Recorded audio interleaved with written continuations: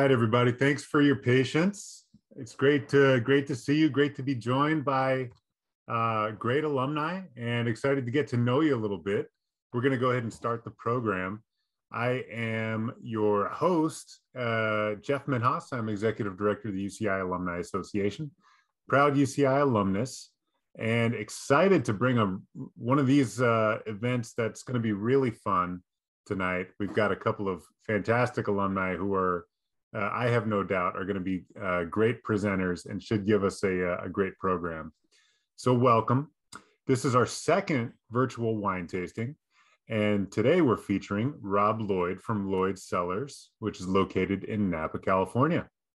We have a lot of wine education and cheersing on the agenda for tonight, including a brief history on how Lloyd Cellars came to be.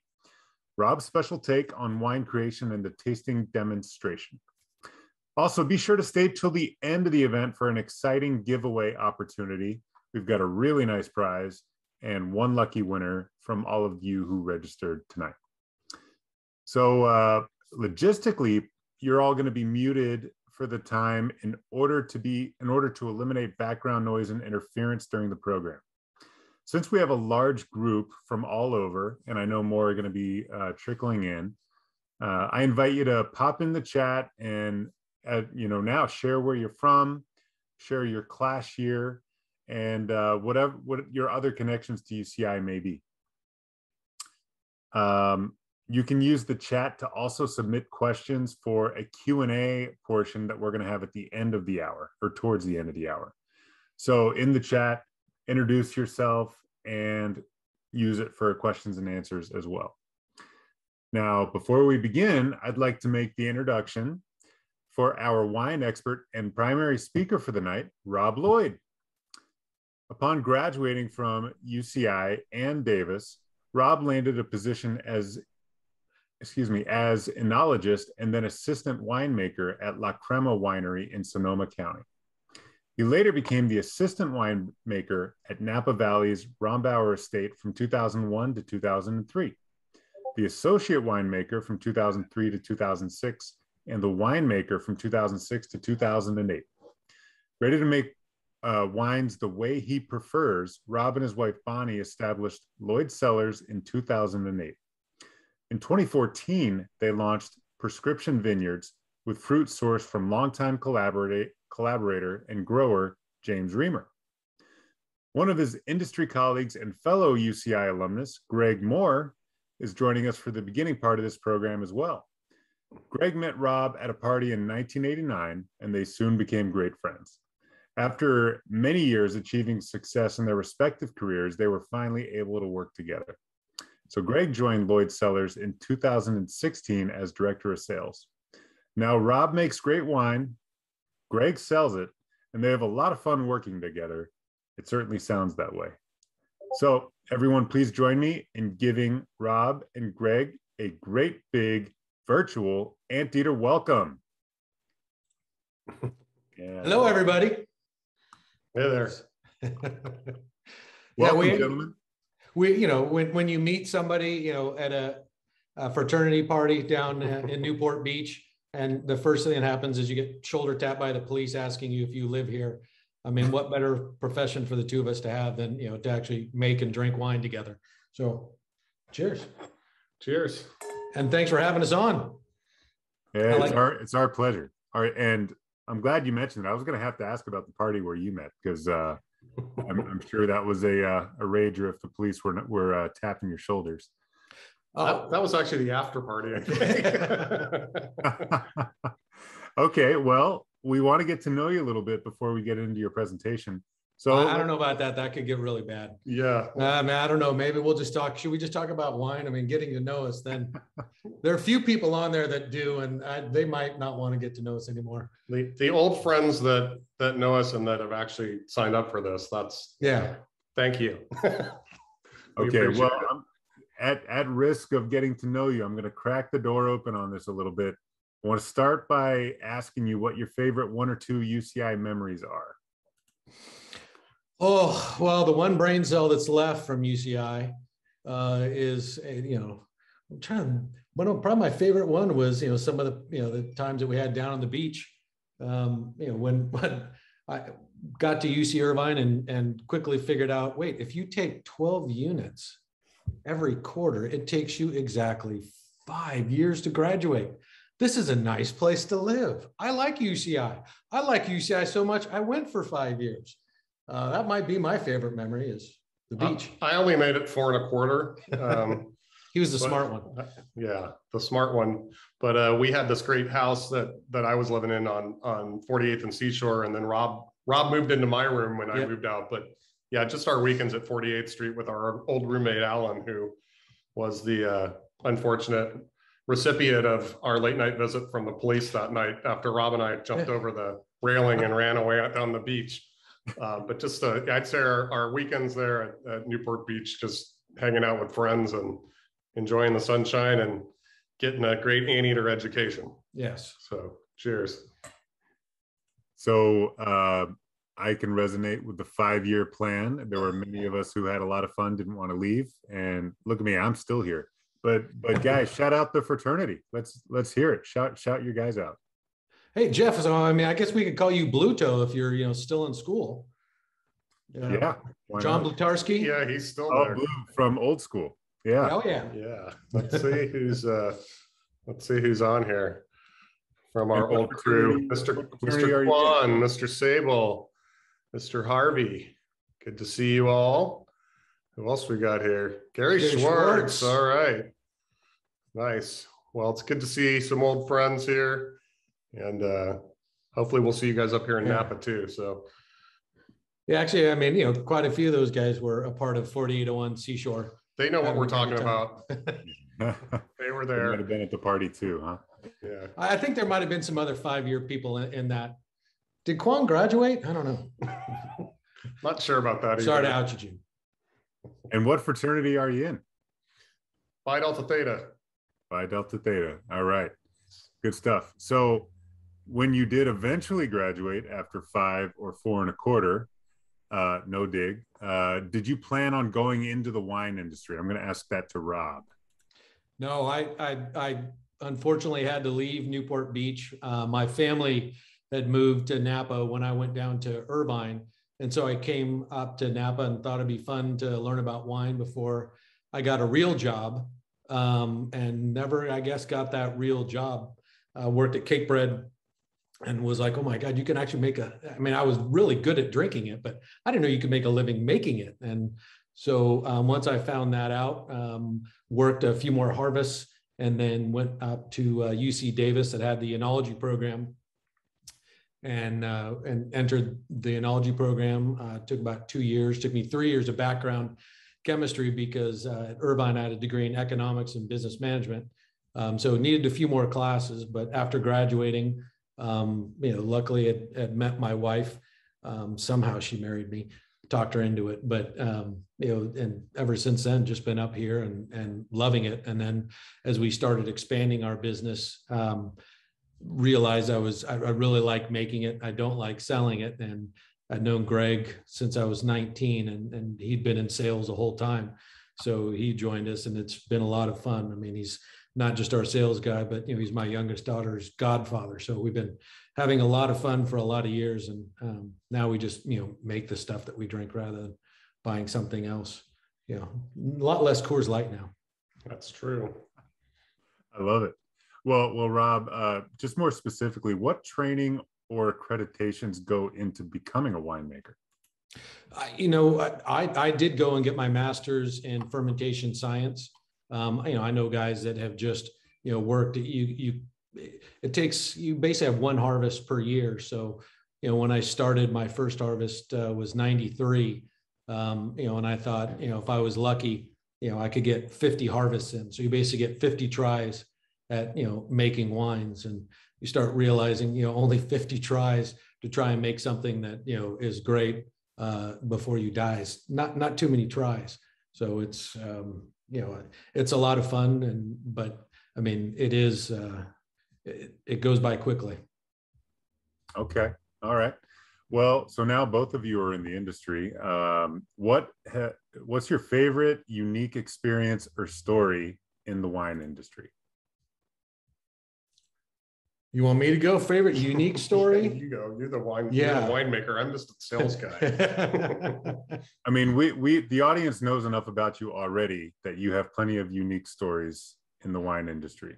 Uh, you know, well, I guess the the earliest one was I had just come up from Irvine and was working at uh, Cakebread, and um, the guys that were there said, uh, you know, make sure the wine's okay. And I said, okay, what do I have to do? And they said, put your nose in the bunghole. And I said, excuse me, uh, these fighting words. And I found out that actually the hole in the top of the barrel is called the bunghole. Um, so that was, that was my first intro to uh, winemaking. All right, Greg. I'd say the Top first, that. the, the first time that Rob took me wine tasting, he decided to take me to uh, Silver Oak. And I'd never been wine tasting before and didn't really know a whole lot about wine. And this was back when Silver Oak didn't, they had a very small tasting room and the people that worked there were pretty, uh, I don't Snooty. know, snooty. Yeah, that's a good word.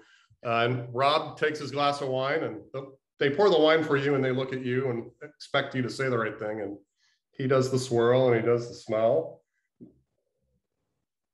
Tastes the wine and he spouts out some ridiculous thing like jammy and fruit forward with, you know, cherry Dill with hints of pickle. Yeah, it tastes like a Newport picnic or something like that. And I'm thinking in my head the whole while, while through, I'm watching him knowing I'm in sales going, oh, I can swirl my glass and I can smell it. And then when he got to that, I was thinking in inner monologue, oh no. So I uh, swirled and I smelled and I tasted the wine and I proudly said, tastes like chicken. And the lady slammed the bottle down and turned around and walked out of the room while Rob's trying not to laugh, saying, I want to have a career in this industry, you idiot. Don't get me kicked out already. Yeah. And at Rob's rehearsal dinner for his wedding, a few years later, I heard uh, from across the a crowded room, I heard his dad say, tastes like chicken. And about 50 people start laughing and they were all pointing at me. So that's followed me around for quite a while. oh, that's classic.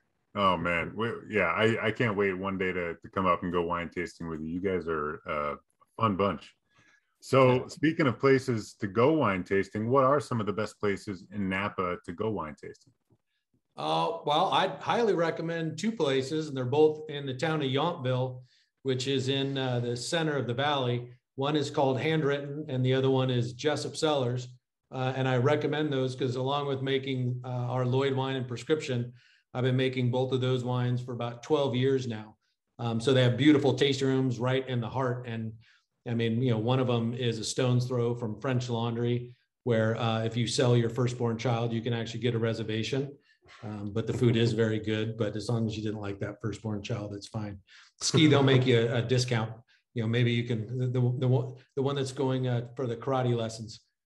Um, but yeah, both both very very nice uh, tasting rooms, and it is fun. We we don't have uh, Lloyd Cellars tasting room. You just basically have to come up to Napa and drink with Greg and I. Even though I think we've invited Quan and Sable, and uh, I'm I'm gonna you know harass. Uh, No shows. yeah, I mean, you would think, you know, their 18 year old selves are so upset. Free wine for you and your wives, and you haven't come up to visit Greg and I. Shame on you.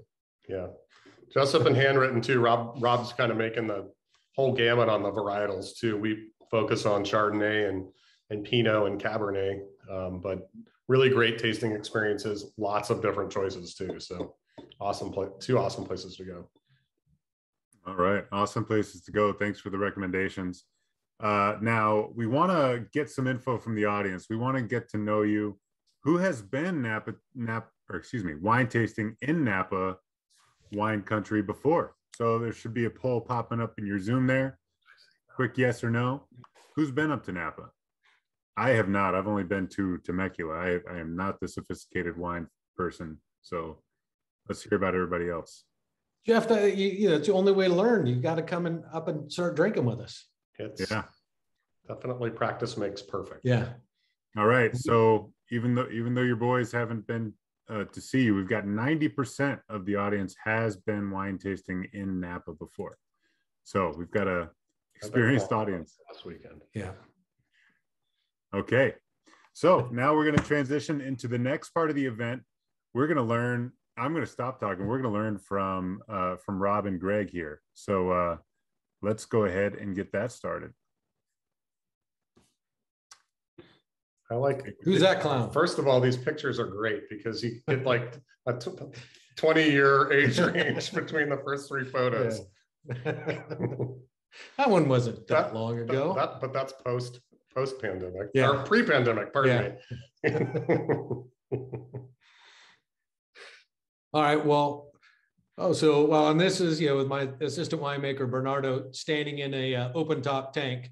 So, I mean, you know, here's just, you know, a little background. And it was, you know, my dad um, had always been, you know, drinking big rich Chardonnay. So even before, you know, being the winemaker at Rombauer, I was, you know, drinking that style of Chard. And as uh, we keep getting into this, I don't know if you know, we have some people that are, have got some prescription wines and then some of the Lloyd wines, but you know, both are are very, very big, rich Chardonnays, and that's obviously what you know we like to drink and what I like to make. So we'll move into kind of the the second one because a lot of these are kind of going over, um, you know, what a little bit what we just talked about when we uh, when we started this program. Uh, God, that clown again. See, that's. Yep. This is kind of, you know, basically what happened after um, I left Irvine. It was very difficult to leave leave 4801 Seashore. It was a pretty darn nice place, but luckily moving up to Napa wasn't too bad. And you know, kind of finding out, you know, that I could make a living at making wine. Let's kind of keep cruising through these.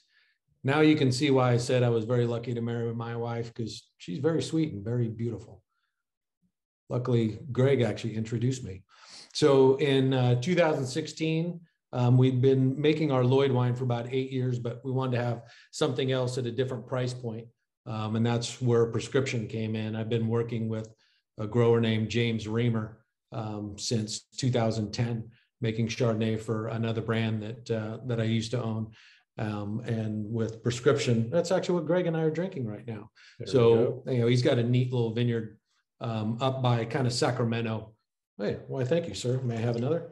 Want some more? Oh, I would like some more. Thank you. Um, so it's a tough, tough job we have here today. Um, so with prescription, you know, we're basically making the wine uh, in stainless tanks um, and then adding a little bit of, uh, you know, oak in to basically co-ferment with it to absorb some of the those toasty oak flavors. Um, whereas with Lloyd, I mean, it's all barrel fermented and um, all the grapes are coming from Carneros. So let's kind of keep cruising on through these. Yeah, There's another nice picture of prescription. That's much nicer than one Greg and I tossing up here while pouring our wine into our glass. Well, let's kind of keep flipping through these. So, well, here's what I was just talking about earlier. So, we, we, we, we warned you ladies that we were not very good at staying on script, so. constantly going off. And you too, Jeff, sorry. Yeah. So, you know, but with, with prescription, I, I mean, I'm not even sure. Hopefully everybody's got, you know, some prescription chard or Lloyd chard in their glass, but you know, the prescription, you know, a little bit crisper, um, you know, not quite as heavy as, as the Lloyd Chardonnay, but at twenty dollars, you know, we've had, uh, had someone call me up and asked to buy some and they described uh, prescription as their Monday through Thursday Chardonnay. And then Lloyd was their Friday and Saturday Chardonnay. I don't know what they were drinking on Sunday, but um, you know, just a little bit lighter style, you know, a little bit crisper.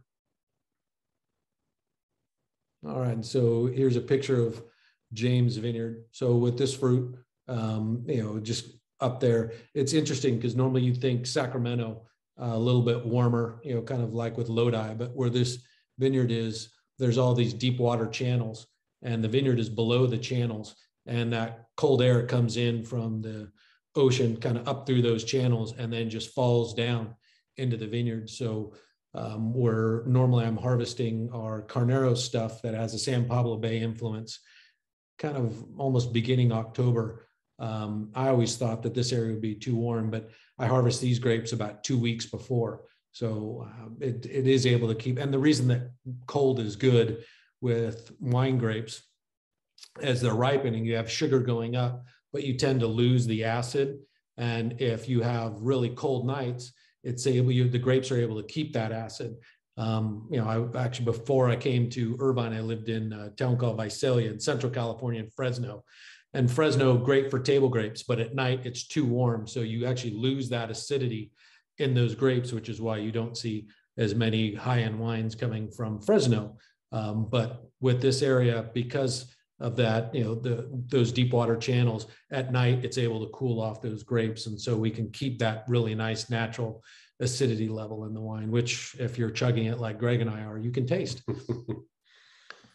Here. Oh, just then there you go. Look, deep water channels. Man, I actually am staying somewhat on Like script. Soothsayer. I know it's amazing sometimes. So, Oh, and then here are some nice little scores. We've gotten some nice write ups from other people that like chugging the wine as much as Greg and I do. Another nice, pretty picture. So this is um, our prescription Cabernet. So we make uh, roughly about 10,000 cases of the prescription Chardonnay. So it's a, it's a decent amount with the Cabernet. Um, we don't make as much. We only make about 500 to 1,000 cases. And this was because the uh, knucklehead to my left, uh, to your right, um, he kept telling me that we needed to have a very nice Cabernet to go along with the Chard. And this is a vineyard that I've worked with for uh, 12 years now. It's uh, normally used to make uh, $70 Cabernets that I make for other clients. Don't tell them. Uh, this is, I think, well, we'll probably get to another slide. It's 30 retail. thirty. thirty dollars retail. So very, very nice high end fruit. It's about seventeen hundred foot elevation. Um, actually, man, here this is looking. Actually, this is looking from the vineyard back down into the Alexander Valley. So Alexander Valley is just a little bit north of Napa and a little bit more to the west.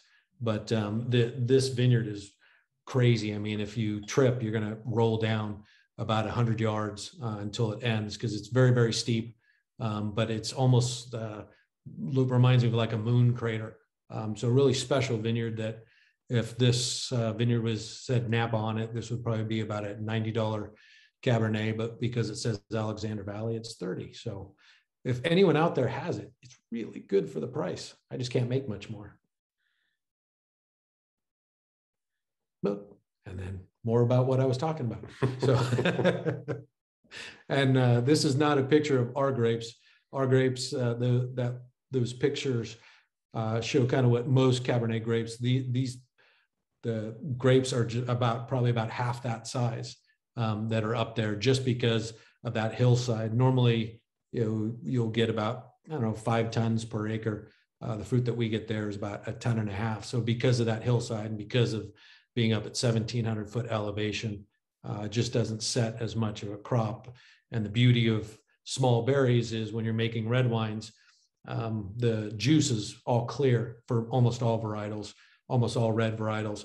But if you have a lot of skins, very little juice, you get a much more concentrated wine. And so with uh, with this vineyard, getting those really teeny berries, you get a lot more skins, a lot less uh, juice, and you can really get some nice concentration in the wine. And all the five adults that are sitting here listening to this are going, "Oh my God, that guy actually knows what the hell he's talking about now." Well, a lot more than you did when, about the Boone's Farm. Oh yeah, Boone's yeah, yeah. They actually remember when I, you know, would drink a bottle of Boone's Farm on the way to the party, and then use that bottle of Boone's Farm to fill up with beer. I got a, yeah. There are a couple, you know, memories that are you know, starting to flood back as we're doing this. Never knew if it really So- had strawberries in it. No, I don't think it had any strawberries in it. So, you know, again, some nice write-ups from some people for the wine. And now getting into Lloyd. So should we, you know, start drinking? We're gonna have to chug this and start drinking some of our Lloyd wines. So the the Lloyd, um, you know, basically when I left Rombauer, my wife convinced me to start my own business. Uh, thank God for her because I wouldn't have. Definitely a little scary going out on our own and starting. But um, when I left, I took my two favorite vineyards that I was making Rombauer Chardonnay with, and that's what we started to make the Lloyd wines with. So um, difference with the Lloyd, it's uh, all uh, Napa and Sonoma Carneros. This is kind of showing you Carneros. If you look over there, you can see the San Pablo Bay. Um, that's the cool air that comes in at night that keeps that area cold. And again, the cold nights are what keeps the, the acid in the wines so that it doesn't taste flabby because no one likes flabby. And I won't get into other flabby things that no one likes. So maybe we better go before I start about talking about that. Me. Yeah. So soils and carneros. So carneros, a lot of clay. Um, and that, that clay uh, basically kind of will help hold some water. Um, and the clay also, it was interesting when I was at uh, UC Davis, I was trying to make a wine that tasted like Rombauer Chardonnay. Um, the way you get some of that big, rich butteriness is there's uh, an acid called malic acid. And uh, if the malic acid is high, when you finish the primary ferment, which is yeast eating sugar, creating Greg's favorite alcohol, uh, a little bit of heat and carbon dioxide, um, there's a secondary bacterial fermentation that is converts malic acid, which malic uh, tastes like uh, like a green apple acid, really crisp, and uh, the bacteria converts it into lactic acid or kind of like a milk acid, much softer. And that's really where that that that process of going from malic to lactic um, is where you get the the buttery component of Chardonnays. And if you guys are uh, chugging the Lloyd Chardonnay, like Greg and I will be as soon as I stop talking, um, that's where you get that really big, rich kind of finish that uh, Jim Kwan's wife likes. Uh, Sable's not as big of a fan of the Chards, but don't worry, we're going to get into Pinot here in a little bit for you, Sable, and you'll be fine. Uh, so San Giacomo Vineyards here, the sites, uh, three different vineyards, and it's really kind of, you know, this is part of why I got into wine. I was just fascinated. I mean, you know, there's just so many different things you can do to make wine, um, where you grow the grapes, when you pick the grapes. And with San Giacomo Vineyards, they have about a thousand acres down in uh, Carneros, but the home ranch, Green Acres, and Keyser, they're all within almost kind of stone's throw from each other. But um, Green Acres and Home Ranch, the main two, one is situated north south, uh, the other one east west, and it's amazing how you know that difference makes you know, will, will give me different grapes. Home Ranch is really the body of the wine, whereas Green Acres gives a little bit more of that uh, that kind of you know a little bit more crispness, a little more of that green apple flavors. And hens and chicks. Everybody likes the hens and chicks. So hens and chicks. Um, the, one of the vineyards I source from, uh, the Truchards over in Napa Carneros. Uh, the hens are the normal sized berries, chicks, the little ones. Basically, it's just um, sterile um, grape cluster. So the the ones that are small, they have no seeds, and you do get a little bit, a touch more acid, but you really get a lot more flavor in those um, just because you have some of those teeny little berries, uh, very little skins. Kind of keep cruising. Oh, look at they like this one even more. So got 94 points. So um, you know the Lloyd Chard. It is. This is really kind of I guess our flagship wine. Flagship. This is the wine that, that we make the most of. Um, and you know, I don't doubt anyone's been able to chug prescription and chug Lloyd Chard this fast because even I can't. But I'm talking, so I, I have an excuse. and now getting into uh, the Pinot. So, um, you know, when we started in 2008, um, I did two vintages of just Chardonnay under our Lloyd label while trying to find. I need a spit bucket because otherwise I'm gonna have to chug. But um, here, you chug for me. So with the uh, so with the Pinot, it took me two years to find a vineyard that I liked, um, but I love the Santa Rita Hills appellation up above Santa Barbara. Uh, and again, this is the beauty of wine grapes. Wherever you grow them, uh, it will give you different flavors. Uh, just kind of like you know, if you are having, oh, I'd love some Pinot. Thank you, sir. I have another. Um, you know, but with the Pinot Santa Rita Hills, you get a little bit more brambly, spicy type flavors. Um, that's what I like. So with this, um, I'll check on the vineyard throughout the year and then go down a little bit before harvest and we'll pick the grapes at night, put them into a refrigerated truck and bring them up to the winery in Napa. Um, and then we'll do open top fermentation with this. Um, and I developed actually a, a, unique device called submerged cap, which is basically like a uh, French press um, for coffee, but it holds the skins underneath and then uses a natural carbon dioxide to kind of you know constantly mix these skins. So you get a lot of um, lot of flavor. So for 100% pinot uh, you know as you can see here color very dark and pretty big for for a pinot. It is not a burgundy style lighter pinot. It's it's a big ass pinot. And that's a great vineyard. We'll move on the next slide. There we go. Oh there we go again. So night pick so night picking um, is great. Um, you know, if you pick when it's warmer, skins are softer. When you put all those grape clusters into the bin, they will juice themselves uh, due to the weight, and you start having skin and juice contact too early, and you can actually have uh, native ferment starch, which we don't like. So at night it's cold, skins are firmer. Um, and then plus the nice thing is at, you know, even just during a 24 hour period with grapes during the day, sugars start to go up, acid levels drop a bit, but at night the acids come back. And so by picking at night, you get a little, you retain a little bit more of the natural acidity. Oh, hey, there's, I forgot we had a picture. So there's a subcap. So the subcap, again, this is a picture looking into the open top tank that has that uh, basically French press type device uh, that I had made. And so it's holding all those skins underneath.